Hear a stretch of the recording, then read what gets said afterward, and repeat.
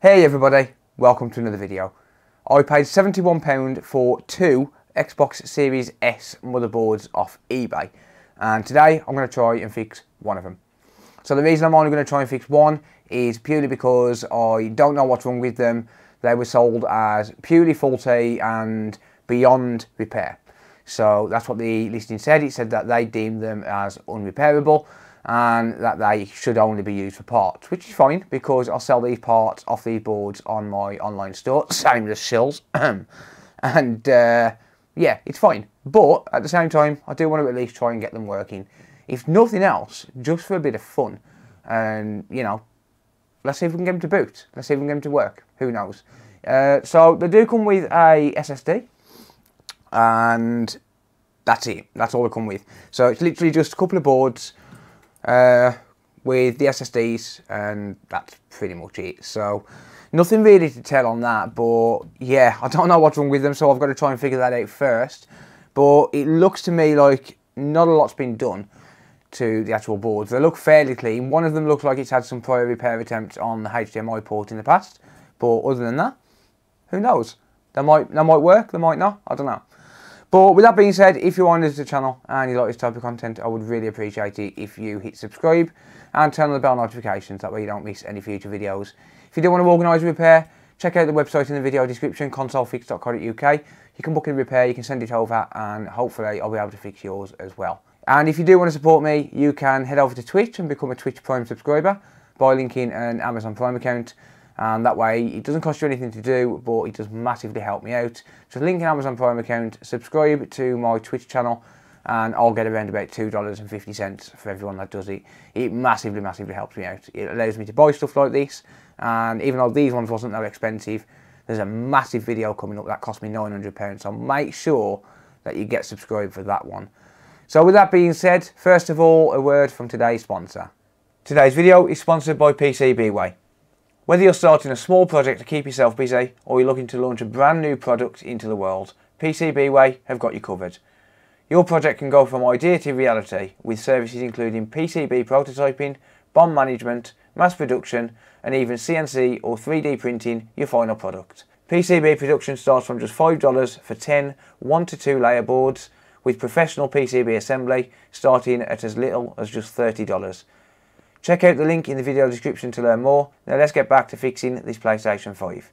Right, we are. So, I really don't have a clue what's wrong with either of these. They, like I said, were sold on eBay as faulty. Both of them come with the SSD.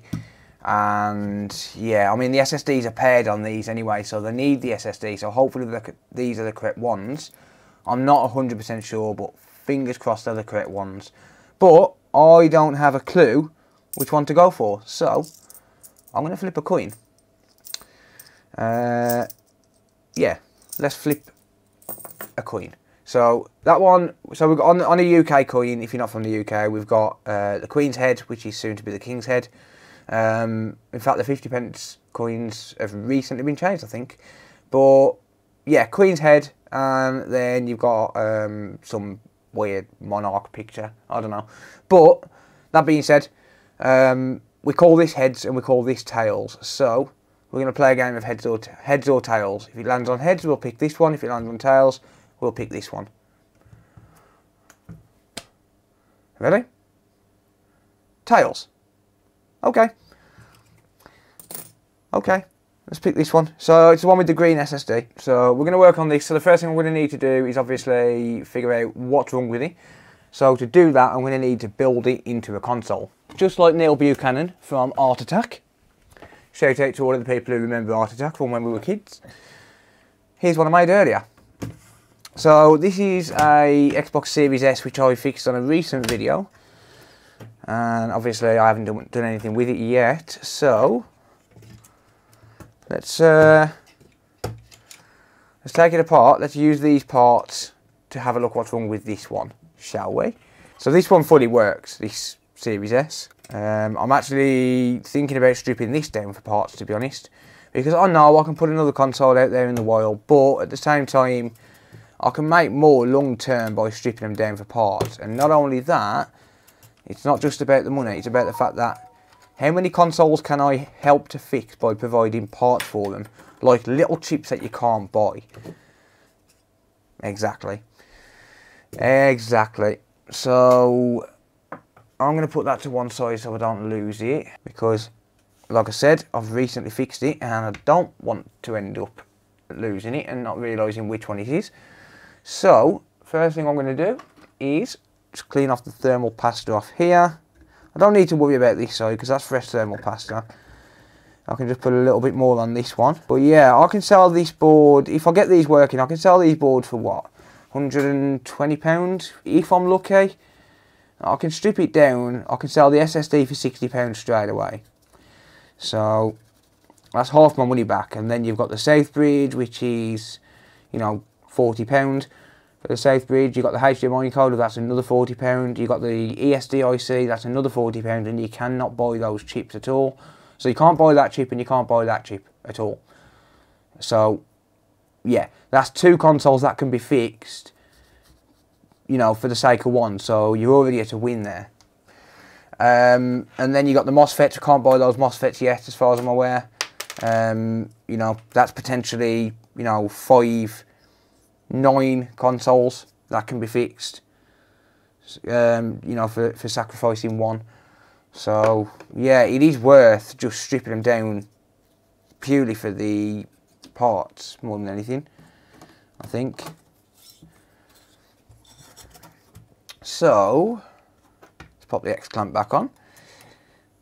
Not going to take much to build this and get it to a point where we can test it. There we go.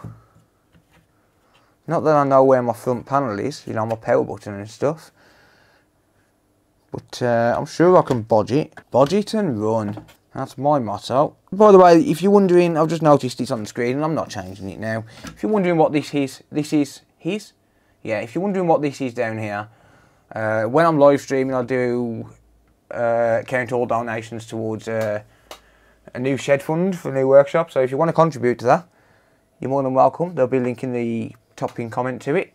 If you do want to, if you do want to contribute, I'm actually I've got I've got that loaded because I'm live streaming right after this video. So yeah. So there you go. If you're wondering what that is, that's what that is. So yeah, pretty self-explanatory when he says new shed fund, I suppose.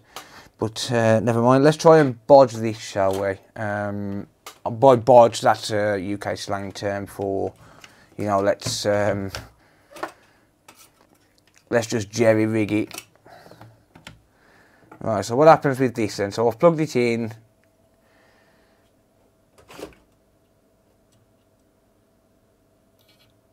Oh, Okay.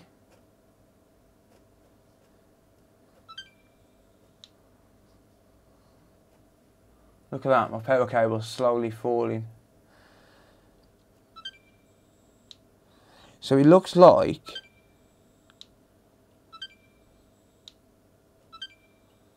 it looks like it's a beep on beep off. Okay, yeah.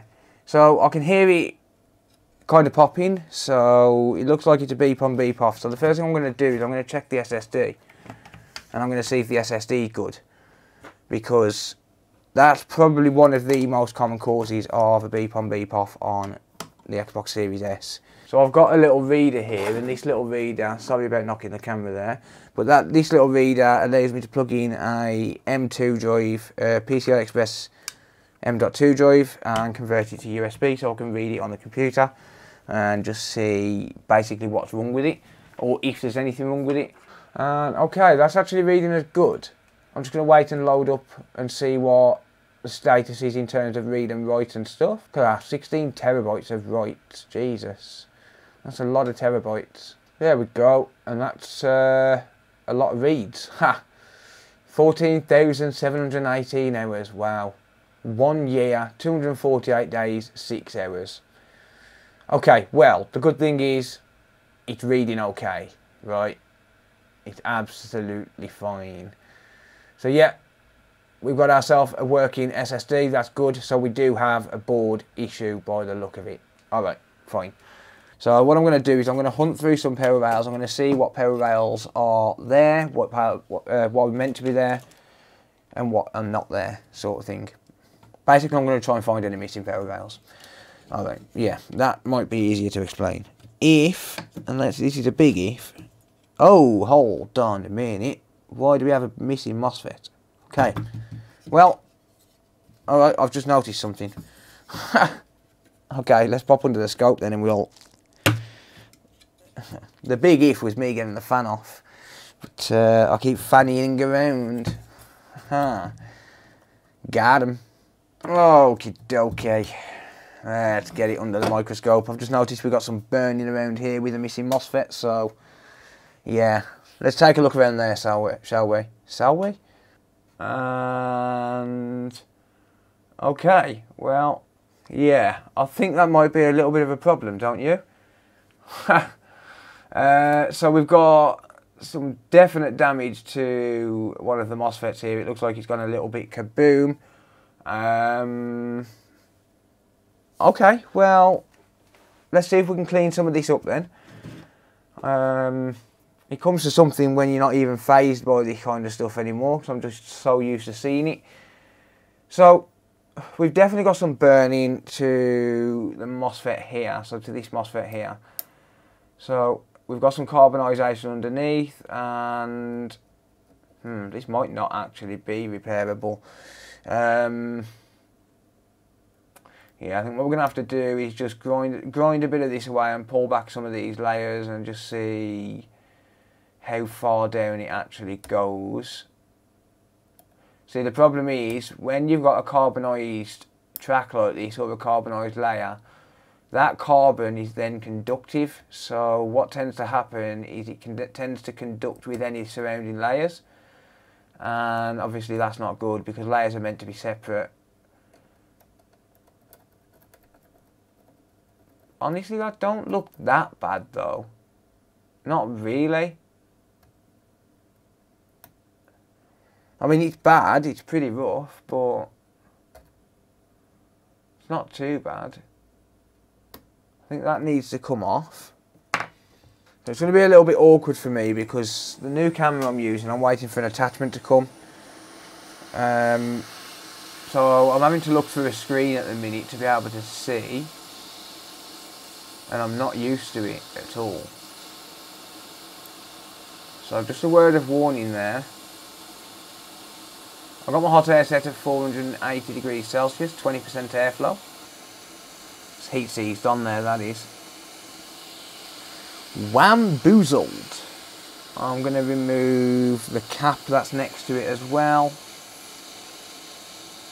I'm usually a little bit more accurate than this, but I'm actually looking off to the side as well, so it's not easy. Yeah, these are pretty much heat sealed on. There you go. Alright, so that's that. So what I've done there is just remove those components because there's a good likelihood that they're shorted, so rather than wasting time, just remove them anyway. It's just easier. And next I'm going to grab a new pair of tweezers because I want to try and peel back some of this layer. And I need the tweezers to close basically. So let's just see what we can do. So the tweezers I'm using, they don't quote close all the way, which means I can't really get a grip on the layer because it's so thin. I mean, these are, you know, a few millimeters in diameter. So I'll just grab the new pair just to make my life a little bit easier. Let's just spin this board round so we can see it a little bit better here, this side. So it's a little bit clearer.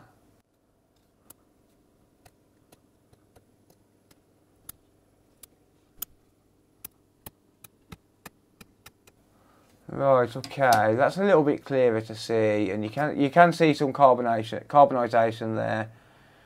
So yeah, that doesn't look like it goes too far, but I'm not 100% sure. So I think I'm gonna have to grind some of this away to be able to see just how bad the damage is. Hopefully it's not too bad, and hopefully the layer underneath is just ground. The problem with this is that you know the the more carboni carbonisation you get, the hotter it gets. The hotter it gets, the more carbonisation you get, and it just puts itself into a vicious cycle of, you know, just basically making itself worse. It's self-destruction mode once it starts, and it just does not stop. and it will not stop until it gets resolved. Alright, so I think it's time to do a little bit of grinding with the grinding pen and we'll see what we can do with it, I guess. Right, so what I'm going to do then, I've got a little grinding pen here. It's only a cheap one, but it does the job. But I've got a little grinding pen with a little attachment on it. And I'm just going to try and basically grind away at some of this just to, well, get rid of this carbonisation really. So, yeah, it's pretty self-explanatory. I'm going to put it on the low setting see how that fares up. Uh, it looks huge, obviously, this little grinding pen does, but it's not that big. I mean, it is actually quite a big grinding pen because I was using it to grind a port.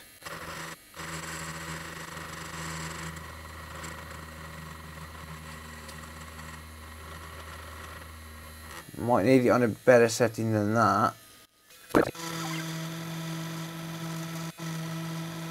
So ultimately what I'm trying to do here is just separate layers and try and relieve the short.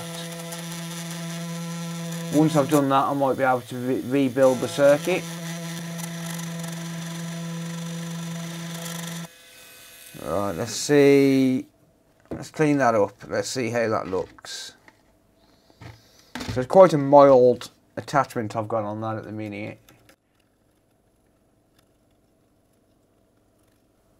Okay, so let's just check that. Let's pop into continuity mode on the multimeter and we'll see if we've got a short to ground on that circuit, or on that trace rather. So we've got a ground point here, so continuity mode is going to beep when I complete a circuit. So if I put one probe on ground and then pop the other probe on the trace, um, we've actually got no short there now.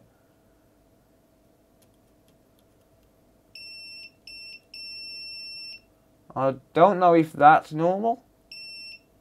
Whether that's meant to read uh, read short to ground. Some MOSFETs do. This is obviously the source.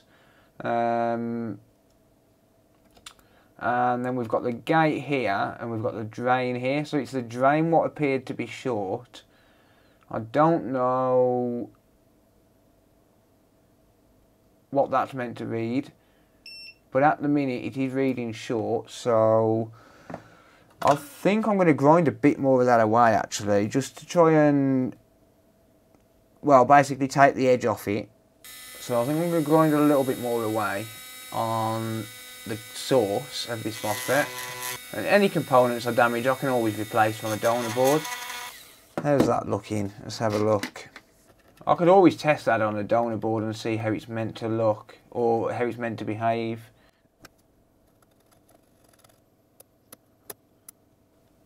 There we go, we've got some of that layer up there now. Just going to dig underneath it. Because I want to make sure that we're not shorted to ground. It doesn't matter if I cut some of this layer away. As long as we've got a little bit of a, a contact on it, then it doesn't really matter. Let's have a look now. Let's see how that reacts in uh, continuity mode now and then I can check it against a donor board while I'm grabbing some parts. So one probe on ground again. So I've got a probe just here. And yep, that's no short. How about the gate? Can I never check the gate? That's fine. That seems okay. And that does still appear short. Uh, whether it actually is, I don't know. However, I can't see anywhere where it would be short. Not not immediately, anyway. Uh, okay, well, I could always check the schematic as well and see what that's connected to. So we've got Q4 on there. So let me get the schematic for the. So here's the schematic then. Uh, so the code name for the Xbox Series S was Stockton. And if we just do a quick PDF search for Q4, and we've got apparently one of 37 matches. So let's find something a bit more specific then. So we've got Q4. a component nearby R332. Okay. There we go. One of one match. Yep. Q4, it's a AON 7403. 12 volt standby gate load switch. Nominal voltage 12 volt. Uh, 12 volt? 12 volt. 12 volts. I'll get it right. 12 volts. So we got 12 volt input. All right. Uh, no, sorry, VREG 1P1 active enable, uh, that turns the MOSFET on, blah, blah, blah, blah, then we get 12 volts. Okay, all right, so cool. So the source could show up as short if that's a um, 1.1 volt enable line.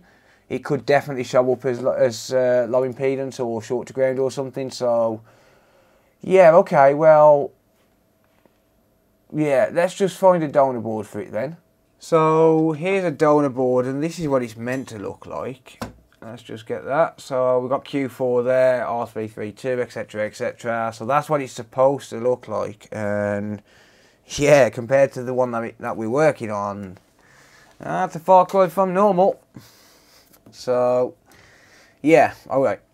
Let's just have a look at this. Let's just see what's meant to be read on here. So I've got one probe on ground here. Actually, let's do it the same leads.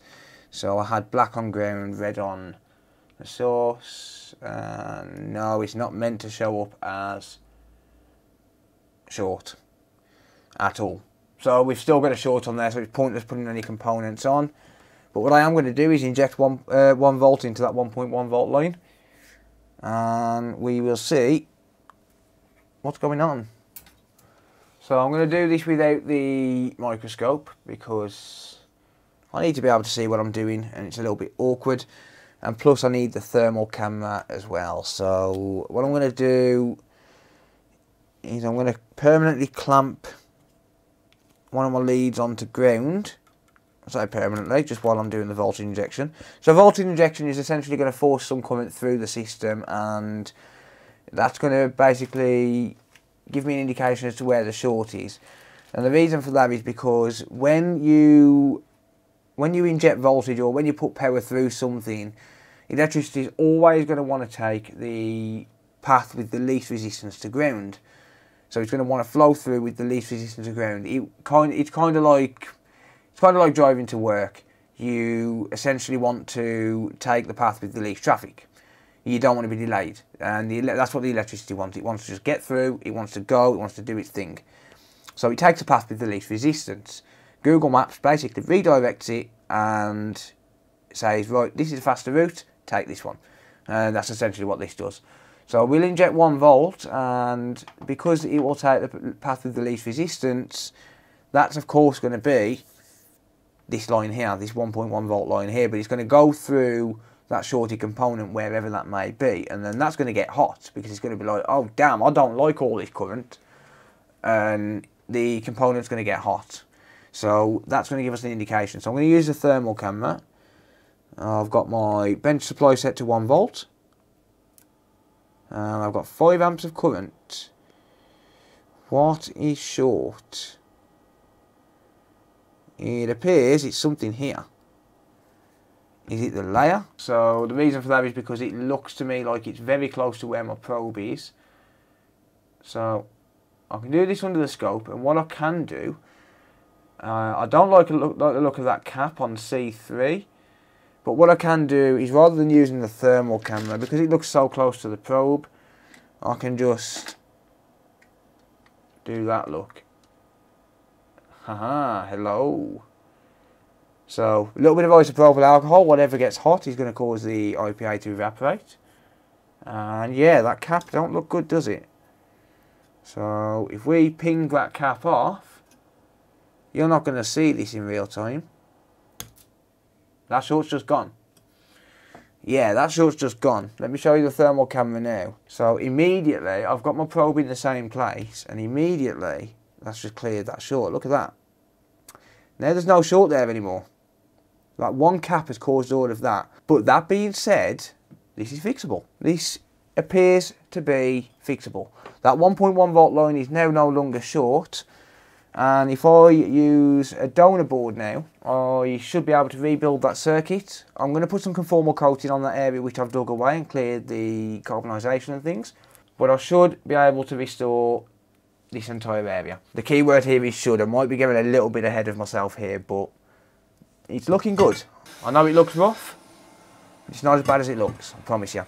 The carbonisation wasn't actually that bad, so basically all I've done is took the top layer off where it was starting to carbonise. It didn't get to a point where it had actually gone through to the next layer, so I can just push this back down, essentially. I can put a little bit of conformal coating around it just to protect this part here. And then I can rebuild this drain pin for the MOSFET. So conformal coating, that's essentially a UV glue and it protects the board from shorting out on anything else or protects components protects anything from shorting out really on anything else. And it cures with UV light. It's really really cheap. The part number for this if you want to search it on eBay I don't sell it on my store because well quite frankly there's no profit in it and I'm a money grabbing YouTuber so yeah. The part number for this if you do want to buy it is UVH900 you can buy it on eBay. You know there's quite a few places you can get it but what I'm going to do is I'm just going to... Well, there's a bit too much there, so I'm going to have to clear that up. But basically just drop a bit of that on there. I'm going to clear a little bit of it up with a cotton swab. I'm just going to dab a little bit up. And then I'm going to spread it back out a little bit. I'm going to dab a little bit more up because there's still way too much on there. Honestly, this stuff lasts forever though. I've had this tub for about four years and it's not even halfway empty. I might have to buy some more in five years' time. That's more like it. That's better. Yeah, that's about right. So, like I said, I'm going to basically protect this area. I want to protect the substrate. So the way that the boards are built up is you've got a top and a bottom layer, but in between you've got some internal layers. Usually between, you know, 4 and 12 layers depending on the complexity of the board. I think these ones are around about 6 or 8 layers. But in between each layer, obviously because it's copper, uh, you know, the traces are all copper, it needs to be protected with something. So it's protected with a fiberglass substrate. And that's what you see in there with that, you know, that grey area that I was digging around. That's the substrate. And if that gets exposed, it can potentially cause a short between two layers, which is why I ground away that carbonisation because I didn't want it to short between two layers. And I also didn't want the carbonisation to eat through the substrate and hit another layer because then that's going to cause a lot of resistance between the top layer and the layer underneath. And that would just obviously make it worse. And it, it kind of has this domino effect where it just keeps on falling, it keeps on getting worse. And we obviously don't want that. So yeah I dug away at it, cleaned up the substrate, made sure that there's no carbonisation around and then now I can re-protect it and rebuild it, hopefully. So I'm going to put some UV light on here. No, this will not hurt your eyes. Anyone who says it is, or anyone who says it does, is moron. Sorry, but they are. Um, no, there was a running gag on uh, another channel where someone was complaining about UV light coming through the camera. It can't come through the camera. So it's not going to hurt your eyes by looking at it. So you can kind of see this going hard already. Can you see that? These UV lights are really strong. I will be stocking these on my website in a couple of weeks. These UV lights. Man, this video is one big ad. Didn't you know? ConsoleFix.shop. One thing you can do to speed up the process is just add a little bit of heat to it. And that should be absolutely rock solid and nicely protected now. Let's take a look, shall Yep, nicely protected, so nothing's going to get through that and now I can start to rebuild this circuit.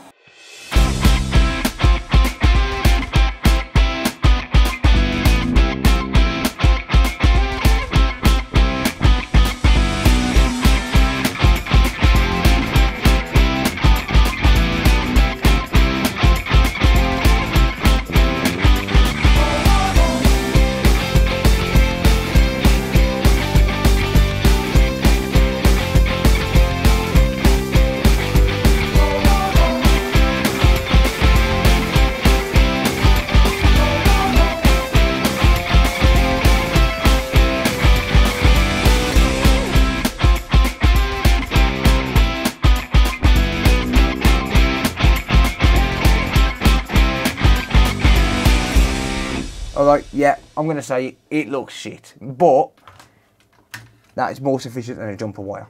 That's for sure. That is way more sufficient than a jumper wire. Let's, let's give this bad boy a test, shall we? That's beautiful. Absolutely beautiful. I love it. I like it a lot.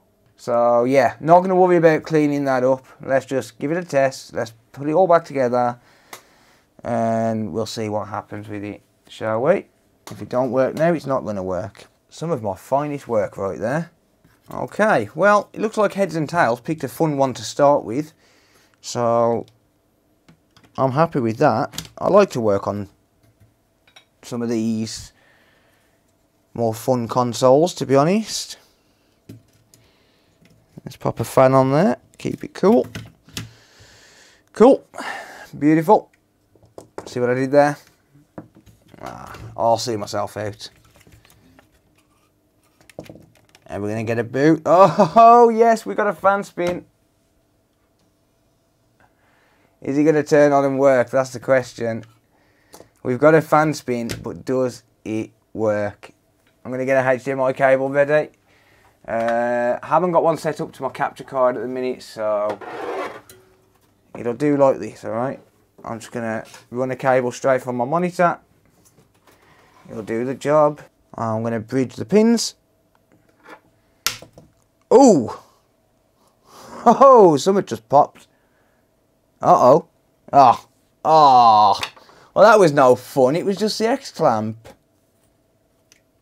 Ah. I thought something went boom then. That would have been a good video. I like it when things go boom on video. It's fun. oh, I thought we was going to have a nice shocker then. Is it turning on? No. Oh, man. We had a fan spin as well. Unless something else has blown. Oh, man. Well, you suck. So I'm just going to look around. I'll have a look around here, um, you know, in the immediate area, first of all. Just see if there's anything else I can see. Uh, unless, unless we do need all three of those pins to be connected. But as far as I know, they're all connected internally. So, yeah, I can't see that being it. Let me just check in diode mode on that MOSFET and just see what we get in terms of readings. Let's see if we get a normal reading on there. So diode mode is going to give me a voltage drop across the ground and tell me an accurate reading. Ignore the beep. Uh, so red probe on ground, we've got 2.7 volts on that side. Uh, that might not be connected. That MOSFET might not be connected. That could be it. I thought that was sufficient, but ev evidently not. So I'm going to push down on this. Could be that it's just sitting a little bit too high.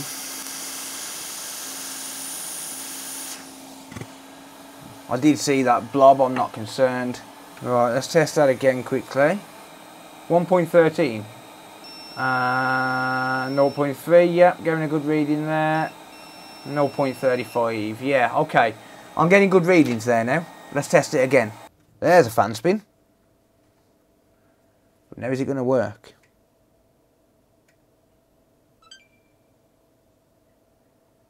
Oh yeah, that's working baby. Let's go. Come on. Spin up baby. There we go. That's what I'm talking about. Let's go. Oh, if only you could see the smile on my face right now. Oh wait. You can. That's working baby. Let's get it. Let's go.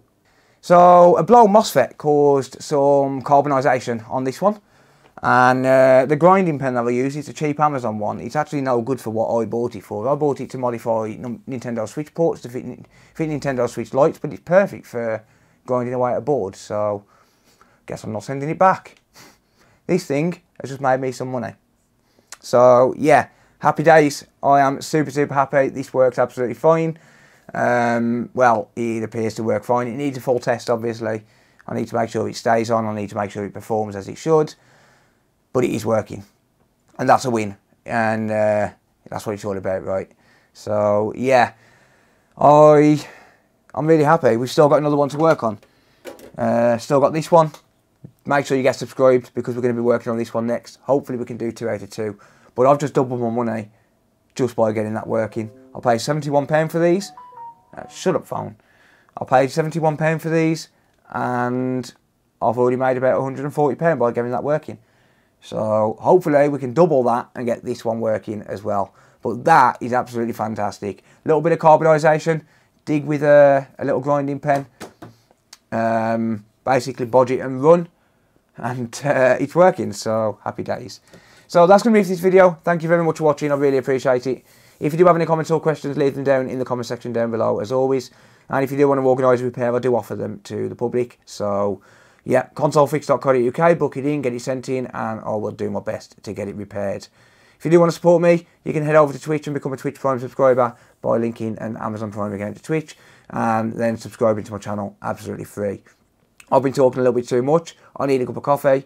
Uh, yeah, thank you very much to PCBWay for sponsoring this video and uh, I'll see you in the next one. Take care everyone. Bye for now.